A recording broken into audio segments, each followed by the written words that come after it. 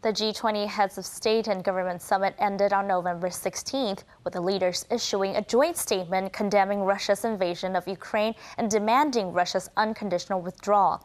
On the other hand, Chinese President Xi Jinping confronted Canada's Prime Minister Justin Trudeau on the sidelines. Chinese President Xi Jinping was seen speaking with Canadian Prime Minister Justin Trudeau after the G20 summit. Xi appeared to be displeased with Trudeau. And that's not how the way the, the conversation was conducted. 如果有诚心，咱们就用互相尊重的态度来否则这个结果就不好说了。If there is sincerity on your part, free and open and frank dialogue, and that is what we will continue to have. We will uh, continue to look to work constructively together, but there will be things we will disagree on, and we will have. 些可以建设性，但是创造条件，创造条件。Let's create the conditions. Xi appeared to be displeased by the Canadian media leaking his conversation with Trudeau during a closed door meeting during which Trudeau brought up concerns about alleged espionage and Chinese interference in Canadian elections. Xi used the G20 summit to herald his return to the international stage.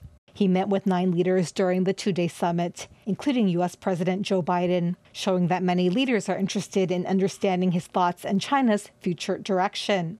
Meanwhile, a meeting with UK Prime Minister Rishi Sunak scheduled for November 16th was cancelled at the last minute. China's Ministry of Foreign Affairs said it has no related information to share. 我想强调的是，中方致力于同英方在相互尊重、平等互利的基础上，推动中英关系健康稳定发展。希望英方同中方相向而行。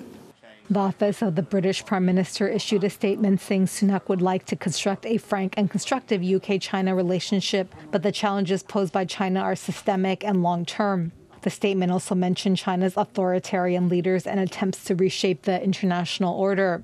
The G20 summit ended on November 16th, with leaders issuing a 17 page joint statement that denounced Russia's invasion of Ukraine. Although China, India, South Africa, and others had differing viewpoints, the majority of member countries strongly denounced Russia and imposed sanctions. They demanded the unconditional withdrawal of Russia. There was no group photo as the summit concluded, as many leaders did not want to be photographed with Russia's representative, Foreign Minister Sergei Lavrov.